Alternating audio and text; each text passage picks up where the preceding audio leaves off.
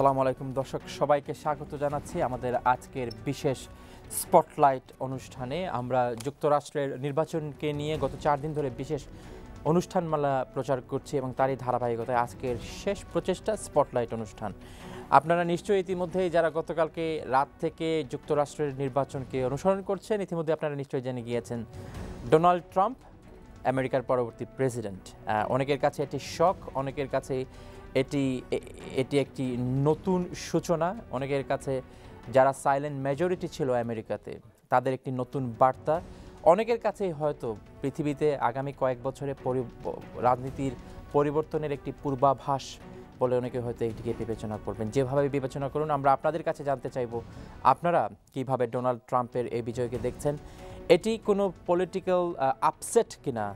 নাকি এটি ডোনাল্ড ট্রাম্পের যোগ্যতা এবং একই সাথে স্টাবলিশমেন্টের বিরুদ্ধে তার প্রথম থেকেই যে স্টাবলিশমেন্টের বিরুদ্ধে তার অবস্থান, সেই অবস্থানের একটি পুরস্কার। চারজন অতিথি আছেন, গুরুত্বপূর্ণ অতিথি আমাদের সাথে। প্রথমে আমি তাদের সাথে পরিচিত হব। আমার হাতের সর্বডানে একজন তরুণ পাবলিক স্পিকার যিনি বাংলাদেশ থেকে এসছেন মাশাহিদ হাসান সীমান্ত। অসংখ্য ধন্যবাদ আপনাকে যোগ দেওয়ার জন্য। ধন্যবাদ। আমার এর পরবর্তীতে হাতের ডানে আছেন আরেকজন তরুণ student leader Asif Ahmed president Bengali society City University Asif আপনাকে অসংখ্য ধন্যবাদ স্টুডিওতে আসার জন্য। এর পরবর্তীতে আছেন সাইদ হুসেন আহমেদ কনজারভেটিভ পার্টির নেতা। সাইদ হুসেন আহমেদ আপনাকে অসংখ্য ধন্যবাদ. স্টুডিওতে আসার জন্য। আমার হাতে আমার প্রথমেই ডানে রয়েছেন চৌধুরী হাফিজুর রহমান আর লেবার পার্টির একজন নেতা। চৌধুরী হাফিজুর রহমান আপনাকে অসংখ্য ধন্যবাদ স্টুডিওতে আসার জন্য। আপনাকে দিয়ে শুরু করি। ডোনাল্ড ট্রাম্পের বিজয়, আপনি কীভাবে আপনার প্রতিক্রিয়া ব্যক্ত করবেন? প্রথম প্রতিক্রিয়া যখন আপনি জানলেন যে ডোনাল্ড ট্রাম্প দুশো সত্তরটি তার যে সিট পাওয়ার কথা তার যে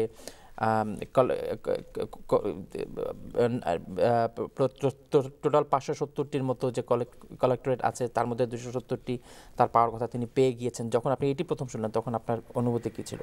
এটা অবাক বিস্ময়, কারণ এই পর্যন্ত যতগুলো মেজর মিডিয়া প্রেডিকশনস এবং ফল হয়েছে এবং সাধারণ আন্ডারস্ট্যান্ডিংয়ে ধারণা ছিল যে হিলারি জয় করবে এবং হয়তো খুব বড় ব্যবধানে জয় না হলেও ন্যারো মেজরিটিতে হিলারির জয়ের ব্যাপারটাই আসলে স্পষ্ট ছিল আমার কাছে। এবং আমি যতগুলো মিডিয়া দেখছি খবর বিভিন্ন অ্যাঙ্গেল থেকে গত কয়েক দিনে আপনার নির্বাচনের আগে বিশেষ করে ইমেল কেলেঙ্কারির ব্যাপারটা যখন আবার আসলো আবার যখন এফবিআই থেকে তাকে হোয়াইট ওয়াশ করার মতো একটা ডিক্লারেশন আসলো যে যদিও হাজার হাজার ইমেল তারা চেক করেননি কিছু চেক করে বলেছেন যে হিলারির কোনো ক্রিমিনালিটি ইনভলভমেন্ট এটা প্রতীয়মান হয়নি। প্লাস আপনার বারাক ওবামা যে বর্তমান প্রেসিডেন্ট তার যে প্রচারণা এবং তার ওয়াইফের যে প্রচারণা সব কিছু মিলিয়ে মনে হচ্ছিল যে পুরো আমেরিকান প্রশাসন আপনার হিলারির পক্ষে কাজ করছে। তা সত্ত্বেও ডোনাল্ড ট্রাম্পের যে বিজয় এটা আসলে অবাক করার মতো এবং বিস্ময় কারণ পলিটিক্যাল যে থিওরি বা অঙ্ক সব কিছু গোলমাল হয়ে গেছে। এবং ব্রিটেনে আপনি দেখবেন যখন ব্রেক্সিট হলো তখনও সাধারণ মানুষের ভিতরে এবং আমি একজন রাজনৈতিক কর্মী হিসেবে যে ধারণা ছিল যে ব্রেক্সিটে রিমেইনই জয় করবে সেখানে কিন্তু ব্রেক্সিট জয় করল। তো তাতে এখানে একটা আমেরিকান যে ট্রেন্ড এবং এই ইউরোপে ব্রিটেনের যে ট্রেন্ড এখানে একটা ট্রেন্ড লক্ষণীয় যে সাধারণ মানুষের ভিতরে যে এক ধরনের জাগরণ যেটা ট্রাম্প জাগিয়েছেন আর এখানে ব্রেক্সিটের পক্ষের নেতৃবৃন্দরা, যদিও তাদের বিরুদ্ধে অনেক ধরনের অ্যালিগেশন আছে যে মিথ্যা কথা বলে বিভিন্ন ধরনের মানুষকে কনফিউজ করা হয়েছে, নেতৃত্বের নামে মিসলিড করা হয়েছে। কিন্তু আমেরিকার ব্যাপারটা আমার কাছে একটু ভিন্ন প্রেক্ষিত। কারণ আমেরিকান পলিটিক্সের যে ভোটার এই অ্যানালাইসিসটা দেখলাম, তাতে শহরকেন্দ্রিক ভোটের ভিতরে অধিকাংশ জায়গায় হিলারি ভালো করছেন। আবার যেটা আপনার গ্রাম অঞ্চল বা একটু দূরে রিমোট এরিয়াতে সেখানে ডোনাল্ড ট্রাম্প সেভেন্টি পার্সেন্টের উপরে ডোনাল্ড ট্রাম্প উইন করছে। তো তাতে বোঝা যায় যে যারা আগে পলিটিক্স নিয়ে এত ভাবতো না তাদের দেয়াল পিঠ থেকে গেছে এখন তারা ওইখান থেকে রিভাইভ করার জন্য ডোনাল্ড ট্রাম্পের কলে সাড়া দিয়েছেন। এটা আমার কাছে মনে হয়। ধন্যবাদ। সাইদ আহমেদ আপনার কাছে আপনার ফার্স্ট রিয়াকশন ধন্যবাদ ফারহান ভাই। I I think for it's a great shock and I think it's shocking for the world also when uh, I woke up this morning and my son said to me dad Donald is gone through. I said are you sure? Because I, did go to bed about 12 o'clock.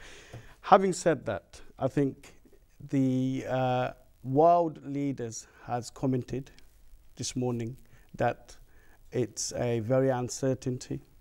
It's very worrying that uh, Donald Tru- Trump has got no plan, he has no policies in place that yet he has managed to get in to the White House. So the shocking is, I think, for everybody is that what are we expecting from Donald Trump? So I think for me, uh, just like Chaudhry said, that a Great Britain amla dekhlam a Brexiteer আপনার যেটা এই আমরা আসলে মনে করছিলাম remain থাকব আমরা prime minister David Cameron he was remain right and then again দেখা গেছে পিপুল ওয়ান্টেড এ চেঞ্জ তারা চেঞ্জ চাইছে গতিকে নানি লাস্টে গিয়ে দেখা গেছে ব্রেক্সিট one. So এটাও এটাও একটা uncertainty as a, it, it was a shock also. So I think the same thing happened in America. People are fed up. People are fed up of the politics that's happening nowadays, and they wanted a different route. They wanted. They could not trust or believe the uh, uh, leaders. So all that Clinton was a, a experienced politician. She was there for 40 to 45 years, and she she was ready to become or step into the uh, White House. But then again, people reacted and went for Brexit.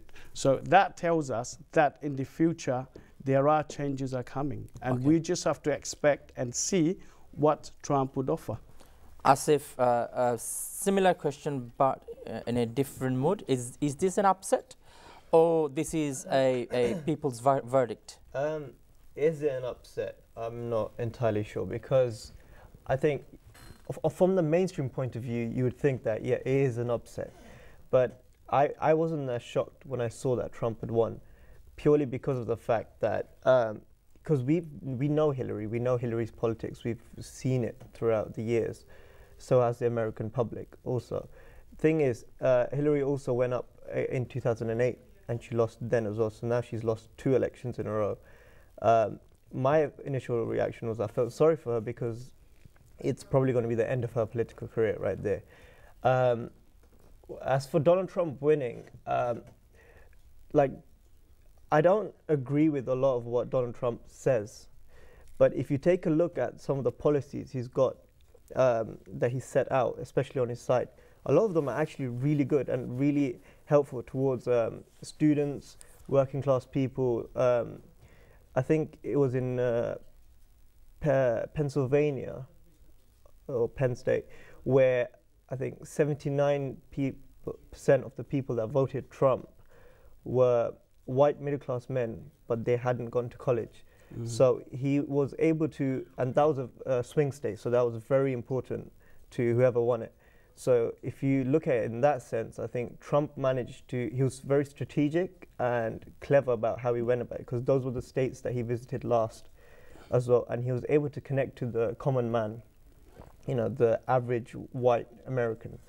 Um, my So for you, it wasn't it wasn't a shock. it wasn't as much of a shock because I saw it coming, if that Okay. makes sense, especially because of what happened with Brexit. Because if you like, you can say the same mistakes were made Mhm. again. Whereas where a lot of people felt that during Brexit, a lot of people thought that they're taking their country back because um, of how much ruling the EU has over us. And then there's the fa- uh, fact that uh, a lot of farmers, a lot of like people felt left out of politics. They didn't feel as though they belonged Mhm. because they thought mainly everything that's happening is happening within London, within the city, Yes. and no one's being involved. So similarly, everyone is like, well, comes uh, someone comes along, just like in the UK it was Nigel Farage. He came along, he could appease the average white person, basically the middle class person, and he won the votes right then and there. সীমান্ত আপনি কীভাবে এই ইলেকশনটিকে আপনি কীভাবে observe করেছেন? আমি আসলে মনে করি না এটা খুব বেশি শকিং কোনো একটা নিউজ ছিল। এর কারণ হচ্ছে আমরা যারা ডোনাল্ড ট্রাম্প থেকে কোনো কিছু একটা এক্সপেক্ট করি আমরা কিন্তু ডিরেক্ট ইউএসের স্টেক হোল্ডার না।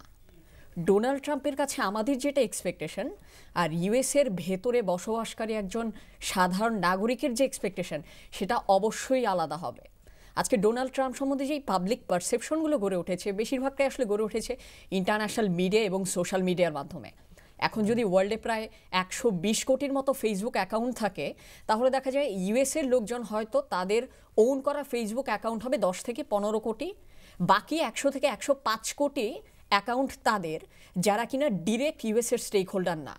এবং তাদের একটা নিজস্ব অভিমত রয়েছে যে আজকে মার্কিন যুক্তরাষ্ট্রের প্রেসিডেন্টকে আমি এরকম অঙ্গ এরকম একটা এক্সপ্রেশনে দেখতে চাই। স্বাভাবিকভাবেই আমার যেটা ডোনাল্ড ট্রাম্পের কাছে এক্সপেকটেশন ইউএসের একজন অ্যাভারেজ সিটিজেনের সেই এক্সপেকটেশন নাও থাকতে পারে। এক্সপেকটেশনের এই ডিফারেন্সের কারণে দেখা যায় যে আমাদের পারসেপশনগুলো আলাদা হয়ে যায়। যেহেতু আমরা মেজরিটি নন ইউএসএ পিপল যে এক্সপেকটেশনটা গড়ে তুলছে তার মাধ্যমে যেই পারসেপশনটা গড়ে উঠছে সেটা যেহেতু মেজরিটি তাই সেটা একটু এক্সপ্লিসিট ওয়েতে মানুষের কাছে ছড়িয়ে যায়। এবং তার মাধ্যমেই আসলে একটা স্ট্যান্ডার্ড গড়ে ওঠে। মানুষের পারসেপশন থেকে একটা রিয়াকশন চলে আসে। এবং সেখান থেকেই মানুষ হয়তো বিশ্বাস করা বা কোনো একটা ভবিষ্যৎবাণীর প্রত্যাশা তার ভিতরে তৈরি হয়ে যায়। কিন্তু যখন থেকে আমি এটা বুঝতে পেরেছি যে না আমরা তার কাছে যেটা এক্সপেকটেশন রাখছি মার্কিন যুক্তরাষ্ট্রের একজন অ্যাভারেজ সিটিজেনের এক্সপেকটেশন তার থেকে ডিফারেন্ট হতে পারে। এই সহজ সত্যটি মেনে নিলে আসলে রেজাল্টটা কখনোই শকিং মনে হয় না।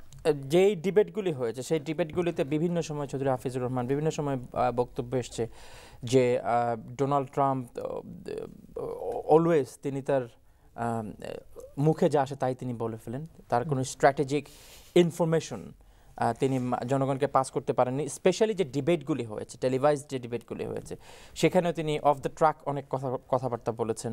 অনেক কিছু মানুষের কাছে ফানি মনে হয়েছে, অনেক কিছু ইনসাল্টিং মনে হয়েছে।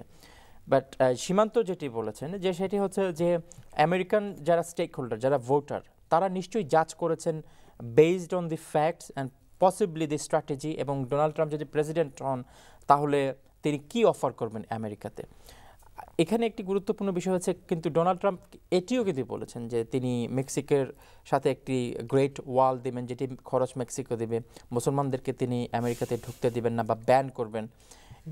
নারীদেরকে নিয়ে কিংবা তার তার নিজের জীবনের যে ইতিহাস আছে নারী সংক্রান্ত যে ইতিহাস সেগুলিও খুব খুব মধুর নয়। তো এগুলি আমেরিকান জনগণ কীভাবে অ্যাকসেপ্ট করেছে কিংবা রিজেক্ট করেছে? আমার কাছে মনে হয় এই কিছু কিছু কমেন্ট আসলে সে অ্যাকচুয়ালি মিন করেছে কিনা এই জিনিসটা আমাদের একটু অ্যানালাইসিস করা দরকার। দেখেন তার ভোটের যে পরিমাণ এবং মুসলমানদেরকে সে ঢুকতে দিবে না সে তো এটি শুধুমাত্র একবার নয় এটি কিন্তু স্ক্রিপ্টেড ছিল। হ্যাঁ, প্রথম প্রথম যে যেদিন তিনি বলেন আই ডোনাল্ড ট্রাম্প দিয়ে যখন তিনি শুরু করেন তার হাতে কিন্তু স্ক্রিপ্ট ছিল। এবং এটি পরবর্তীতে বিভিন্ন স্টেট ভিজিটে এবং স্টেট সম্মেলনে তিনি কিন্তু বারবার রিপিট করেছেন এবং এরপরে কিন্তু কখনো কন্ডেম করেননি কিংবা এর এ থেকে পেছনে তিনি আসেননি।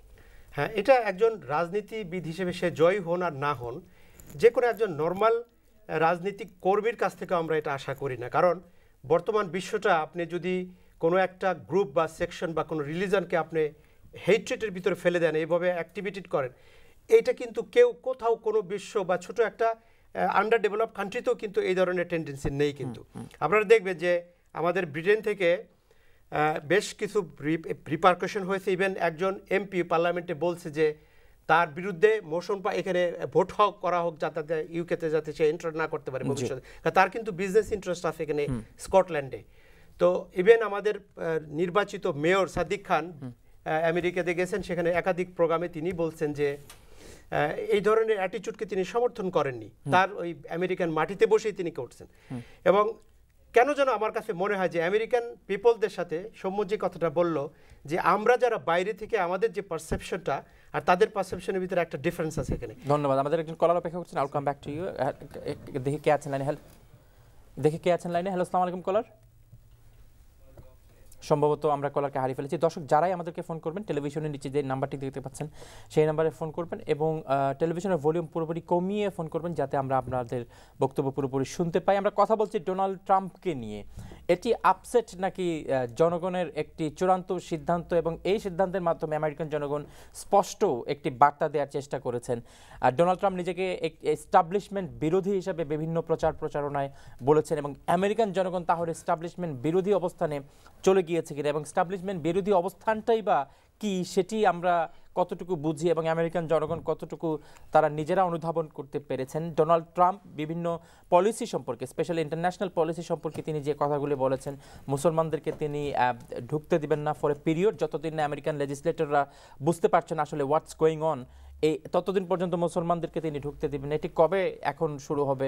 নিশ্চয়ই এটি নিয়ে এখন ডিসকাশন শুরু হয়ে যাবে। রাশিয়ার সাথে যে টেনশন ছিল আমেরিকার, সেই টেনশন এখন কতটুকু ফ্রেন্ডশিপে পরিণত হবে? ইতিমধ্যে আপনারা নিশ্চয়ই জেনেছেন যে ভ্লাদিমির পুতিন অত্যন্ত স্বাগত জানিয়েছেন এবং তিনি আমেরিকার সাথে কাজ করার জন্য তিনি এখন মুখিয়ে আছেন বলে তিনি ইতিমধ্যেই জানিয়েছেন। ব্রিটেনের প্রধানমন্ত্রী থেরেজা মে অলরেডি কংগ্রেচুলেট করেছেন।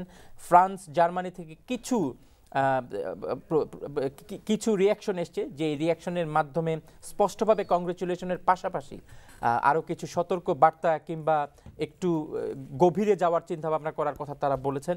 এই বিষয়গুলিকে আপনারা কীভাবে দেখছেন? বিশেষ করে নতুন প্রেসিডেন্ট আসার পরে যে বাস্তবতা সৃষ্টি হবে, সেই বাস্তবতা সারা পৃথিবীতে কীরকম প্রভাব ফেলতে পারে বলে আপনারা ধারণা করছেন, এটি নিয়ে আমরা জানতে চাই। আপনারা নিশ্চয়ই ডোনাল্ড ট্রাম্প ইতিমধ্যেই তার প্রথম স্পিচ যেটি বলেছেন যে সেই স্পিচে তিনি সকল আমেরিকানকে সঙ্গে নিয়ে কাজ করার অভিপ্রায় তিনি ব্যক্ত করেছেন। একজন স্টেটসম্যান হিসেবে তার যে বক্তব্য দেওয়ার কথা সেটি তিনি করেছেন বলে বিভিন্ন বিশ্লেষণে এসছে।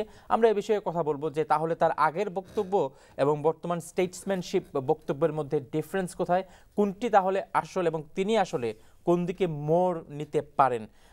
স্ক্রিনের নিচে যে নাম্বারটি দেখতে পাচ্ছেন, সেই নাম্বারে ফোন করে আমাদের সাথে আপনারাও যুক্ত দিতে পারবেন। আসেফ আমরা কথা বলছিলাম যে বিভিন্ন বিষয়ে ট্রাম্পের যে অবস্থান স্পেশালি মুসলিমস মেক্সিকো ওয়াল কিংবা নারী সংক্রান্ত যে বিষয় তিনি বিভিন্ন নারীদেরকে বিভিন্নভাবে বিভিন্ন সময় যে বক্তব্য দিয়েছেন সেই বিষয়গুলি তাহলে ট্রাম্প এখন way do you see those pledges that Trump committed before Trump is the problem is uh, the Trump is the pre- pre- pre- uh, president. Yeah. now. Uh, Trump has the House of um, the House of Representatives. T- House has the Senate. Trump, sorry, has the Senate, as in it's all Republican. Yeah. So he will he won't have an issue when it comes to trying to pass a lot of bills, but uh, I don't know if you saw, but when this morning when he came out and he gave his speech, he said uh, he wants to be a pre- president to the whole of America. Yes. So like he was kind of including, he's inclusive of everyone. He was very clear about the fact that the way that they both went about their uh, campaigning, it divided the nation, and it caused a very big rift. It almost seemed as if it wasn't uh, of a, uh, sorry ele- an election between um, Democrats and Republicans. It was almost an election between the ethnic minorities and the white supremacists. White supremacists, and that's what it almost felt like if you if you look at it from a different perspective. So um, I think you need to. tr- where, when where, it- where, when- where- the comments Trump made, for example, Yeah. um, uh, Trump uh, he, he would bomb the hell out of IS. Yeah. Um, uh, b- women should be rated by their look. Yeah. Uh, তারপরে the world be better off if Saddam Hussein and Muammar Gaddafi were still in power. Um, uh, he wants to build a great, great wall between the US and Mexico. I mean, are these just comments or he actually meant think- those comments? Th- this guy is crazy when it comes to stuff like that. When he says stuff like that, that's why he had his Twitter accounts, etc., stuff like that, kept away from him. hmm Even now, they're not sure if he's got it back yet or not, Okay. because his campaign team kept it away from him because he- has brilliant publicists who manage to always turn everything constantly. So um, those, these comments shouldn't should be taken seriously, but when it comes to uh, a president making these remarks, it's it's obviously frowned upon, and a lot of people from different countries, especially leaders of different countries, made remarks as well, say um, disregarding them. Now, uh, th- like where we go from now with those pledges is the fact that is he really going to build a wall? Uh, how much is that going to cost the economy? Um, he's going to try and make Mexico to pay, pay for it. What if Mexi- Mex- Mexico don't pay for it? What about uh, the whole banning Muslim situation, where we'd be going back to the Hitler Hitler style, Mhm. where we make uh, Muslims wear ID cards, etc., stuff like that. That's also very far fetched. I Mhm. think because you have to remember that we, we we have this perception, especially from the media, that's come that Trump supporters are usually either racists or bigots, etc., mm -hmm. stuff like that. But I, I went America this summer. Yeah. I visited America. I went uh, I went America and Canada. I went four different states. Okay. And I saw the uh, I saw what everyone was like there, and like uh, even us uh, Bengali people, like Amar ekta dada, um, or ekta factory chilo. And uh, what happened with this with that factory was the that he was then.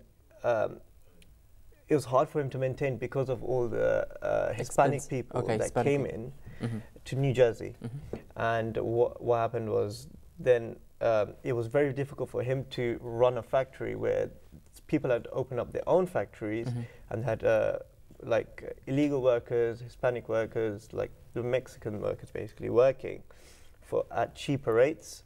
And so eventually he had to get get rid of his factory. Okay. And he was when I asked him who are you going to vote, he said he's Trump. Okay. Now, my granddad's not racist Yeah. he's Bengali Mhm. like us, but the main issue that he saw there was the fact that the Democrats weren't doing much for the little people, for the Okay. smaller people, and that that was the main issue. That was the primary issue. Okay. So basically, there are people within the um, ethnic minority who voted for Trump. Of course, they are. Um, but but যেই um, uh, যে কথাটি এসছে যে before the election there was a Yeah. there was an um, uh, rating that only 2% of the black and ethnic minority would vote for Trump. But yesterday, 17. we, we found 17%. 17%. you see that it's gone up a lot. If you um, if you want to compare it to, um, I think uh, Obama was up against um, I forgot his name right now. Uh, before last time, Mhm. um, on back then, and that, this wa- he wasn't uh, anything like Trump. Okay. Yet he um, he only managed to secure I think it was fifteen percent. Okay, so basically, Donald Trump has Donald Trump actually has achieved actually more. managed to secure twenty nine percent of ethnic minority votes. 29%. Yeah, Okay, I'll, I'll, 29%. I'll, I'll come to you. So that's Uh, বাংলাদেশের জন্য সীমান্ত will there be any difference between uh, I mean b- b- b- Trump being the president? আহ, সত্যি কথা বলতে একটা জিনিস আমাদের সবারই বুঝতে হবে যে ওয়ার্ল্ড পলিটিক্সে no one is your permanent friend no one is your permanent enemy সিচুয়েশনের সাথে সাথে এবং ডিকেইডের সাথে সাথে এটা চেঞ্জ হয়ে যায়। তো এক্ষেত্রে আপনি নিজেও দেখবেন যে মার্কিন যুক্তরাষ্ট্রের এর আগে কিউবার সাথে যে পরিমাণ খারাপ সম্পর্ক ছিল তারা কিন্তু সিচুয়েশনটা হ্যান্ডেল করে ফেলেছে। ইভেন আপনি যদি ওয়ার্ল্ড পলিটিক্সেও এক্সাম্পল দেখেন অনেক রাষ্ট্র রয়েছে যারা কিনা স্বাধীনতা অর্জনের যখন চেষ্টা করত অনেক বড় বড় রাষ্ট্র তখন তারা তাদেরকে বাধা দিত যে না এই রাষ্ট্রকে স্বাধীনতা দেওয়া যাবে না। বাট পাঁচ থেকে ছয় দশক পরে সেই বাধা দান করা রাষ্ট্রগুলোই ওই ছোট রাষ্ট্রকে সর্বোচ্চ পরিমাণ ডোনেশন দেওয়া এক একটা রাষ্ট্রে পরিণত হয়ে যায়। তাই সময়ের সাথে সাথে আসলে সম্পর্কের ধারা এবং ধরনগুলোও চেঞ্জ হয়ে যায়। তো এক্ষেত্রে আমরা বাংলাদেশের জন্য কি বাংলাদেশে একটি বাংলাদেশের পলিটিক্যাল স্টেজে একটি টেনশন ছিল যে আসলে আমেরিকাতে কে প্রেসিডেন্ট হয়ে আসেন। বিকজ অফ ডক্টর ইউনুস তো সেই স্টে সেই টেনশনটা কি এখন কমলো নাকি কারোর জন্য কোনো সুবিধা হলো? এই টেনশনটা আসলে ডিরেক্টলি কমলো নাকি সুবিধা হলো এটা আসলে এখনই বলার মতো সময় আসেনি। এর কারণ হচ্ছে আমাদের বর্তমান প্রধানমন্ত্রী আজকে যখন এই রেজাল্টটা বের হওয়ার পরপরই তিনি সরাসরি কংগ্রেচুলেশন করেছেন। এবং বেগম খালেদা জিয়াও করেছেন। হ্যাঁ এভরিথিং টেক্স টাইম এবং this is too early to predict about the nature of future political condition of Bangladesh কারণ মাত্রই তো দুই থেকে মাত্র কয়েক ঘণ্টা হলো। এরপর নতুন প্রেসিডেন্ট যে কিন্তু ইলেকশনের আগে কি ধারণা ছিল? মানে বাংলাদেশের প্রেক্ষাপটে কোন ধারণাটি বাংলাদেশের মানুষের ছিল বা পলিটিশিয়ানদের ছিল বা প্রেডিকশন ছিল যে হিলারি ক্লিন্টন যদি প্রেসিডেন্ট হন তাহলে বাংলাদেশের জন্য কি স্টেক আছে? এখন অথবা ডোনাল্ড ট্রাম্প যদি প্রেসিডেন্ট হন বাংলাদেশের জন্য কি স্টেক তিনি বয়ে নিয়ে আসবেন? মানে ইলেকশনের আগে কোন ধরনের প্রেডিকশন ছিল বলে আপনি মনে করেন? ইলেকশনের আগে আসলে এগুলো এই প্রেডিকশনগুলো আসলে কোনোটাই কংক্রিট ছিল না এবং প্রেডিকশনগুলো দুটো লেয়ার থেকে আসতো। একটা আসতো পলিটিশিয়ানদের লেয়ার থেকে আরেকটা আসতো পাবলিকদের লেয়ার থেকে। পাবলিকদের লেয়ার থেকে যেটা ছিল সেটা হচ্ছে হিলারি যদি আসেন তাহলে অনেকটা ফ্লেক্সিবল হয়ে যাবে। পাবলিকদের লেয়ার থেকে তারা এটা মনে করতেন যে আজকে যদি ডোনাল্ড ট্রাম্প চলে আসেন তাহলে ইউএস এর সাথে আমাদের সম্পর্কের জায়গায় কিছুটা ভাটা পড়ে যেতে পারে। পলিটিশিয়ানরা এক্ষেত্রে কিছুটা বিচক্ষণতার পরিচয় দিয়েছেন। এর কারণ হচ্ছে নির্বাচনের পূর্ববর্তী একটা সেন্সিটিভ মোমেন্টে যখন কোনো একটা ডিরেক্ট কমেন্ট চলে আসে এটা আসলে যে কোনো দেশেরই পলিটিক্যাল একটা রোড ম্যাপের জন্য খুব বেশি ভালো হয় না। সেক্ষেত্রে আমার মনে হয় আমাদের যারা পলিটিক্যাল লিডার রয়েছেন তারা এক্ষেত্রে যথেষ্ট বিচক্ষণতার পরিচয় দিয়েছেন। এই জায়গা থেকে তারা সম্ভাবনা নিয়ে কথা বলেছেন নিশ্চয়তা নিয়ে কোনো কথা বলেন। ধন্যবাদ আপনাকে। দর্শক দেখছেন স্পটলাইট অনুষ্ঠান। আমরা কথা বলছি আমেরিকান ইলেকশন নিয়ে। ডোনাল্ড ট্রাম্প প্রেসিডেন্ট হিসাবে নির্বাচিত হয়েছেন। এই প্রেসিডেন্ট হিসেবে তার নির্বাচনের মাধ্যমে তিনি পঁয়তাল্লিশতম আমেরিকান প্রেসিডেন্ট হিসেবে তিনি আমেরিকা প্রেসিডেন্ট হবেন। তার ইলেকশন হয়েছে, ইলেকশনের জানুয়ারিতে তিনি ক্ষমতায় যাবেন এবং ইতিমধ্যেই ট্রানজিশনাল পিরিয়ডের যে প্রসেস সেটি শুরু হয়ে গিয়েছে। প্রেসিডেন্ট ওবামা ডোনাল্ড ট্রাম্পকে ফোন করেছেন। আগামী বৃহস্পতিবার তিনি হোয়াইট হাউসে ডোনাল্ড ট্রাম্পকে আমন্ত্রণ জানিয়েছেন এবং যেখানে প্রত্যাশিতভাবে ডিসকাস হবে ট্রানজিশনাল পিরিয়ডে কীভাবে সম্পন্ন হবে এবং নিশ্চয়ই ডোনাল্ড ট্রাম্প তার ক্যাবিনেট নিয়ে আজকে থেকে, ইলেকশনের পর থেকেই চিন্তাভাবনা করে শুরু করা দিয়েছেন। হয়তো এর মাধ্যমেই তিনি বার্তা দেওয়ার চেষ্টা করবেন আগামী সরকার কেমন হবে আমেরিকার পলিসি কি হতে যাচ্ছে এবং তিনি আমেরিকাকে কীভাবে বিশ্বের মানচিত্রে কি সুপ্রতিষ্ঠিত করতে চান কিংবা আমেরিকাকে কীভাবে বিশ্বের মানচিত্রে তিনি প্রতিষ্ঠিত করতে চান। যাচ্ছি দর্শক মণ্ডলী ছোট্ট একটি বিরতিতে, সঙ্গেই থাকবেন।